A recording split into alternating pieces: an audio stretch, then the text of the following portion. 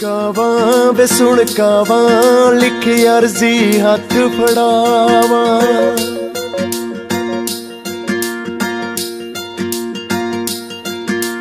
ਕਾਵਾਂ ਵੇ ਸੁਣ ਕਾਵਾਂ ਵੇ ਲਿਖ ਅਰਜ਼ੀ ਹੱਥ ਫੜਾਵਾਂ। ਵੇ ਕਹਦੀ ਉਸ ਡਾਡੇ ਰੱਬ ਨੂੰ, ਵੇ ਕਹਦੀ ਉਸ ਡਾਡੇ ਰੱਬ ਨੂੰ, ਦੂਰ ਕਰੀ ਨਾ ਤੀਆਂ ਤੋਂ ਮਾਂ। ਵੇ ਸੁਣ ਕਾਵਾਂ ਵੇ ਲਿਖ ਅਰਜ਼ੀ ਹੱਥ ਫੜਾਵਾਂ। ਕਾਵਾਂ ਵੇ ਸੁਣ ਕਾਵਾਂ ਵੇ ਲਿਖ ਅਰਜ਼ੀ ਹੱਥ ਫੜਾਵਾਂ।